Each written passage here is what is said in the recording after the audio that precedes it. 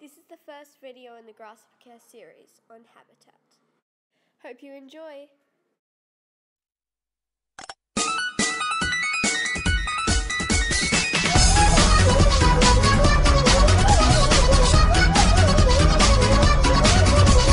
Hi guys, Catgirl here and today I'm going to be doing the first video in the Grasshopper Care series on habitat.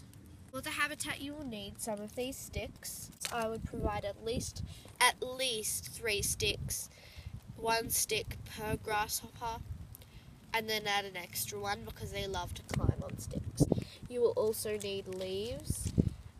But these are optional. For the soil, you can use normal soil, but I would personally recommend using potting soil or eco earth.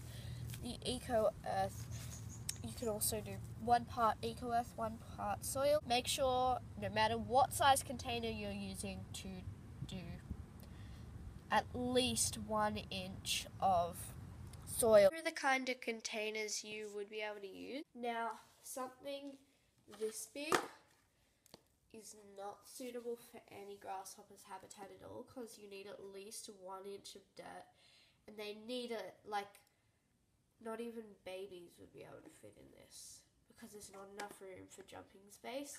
This one, just throw it out the window. You can't have anything as small as these two. They are way too small for grasshoppers. Something like this.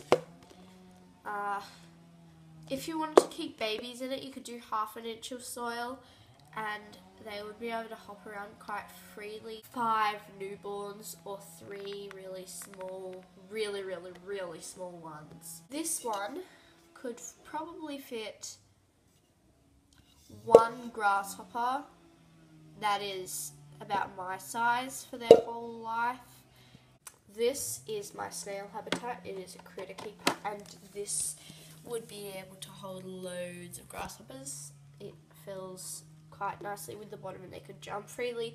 I would say about five maximum grasshoppers my size, but if you wanted to keep them for their whole life, three grasshoppers. This is perfect. This could hold two grasshoppers. These both could hold two grasshoppers for a while, and this one for their whole life maybe, but this one I'm going to upgrade to a critter keeper. They are both really great, but the lids are really bad, so you have to try and find a lid which will fit.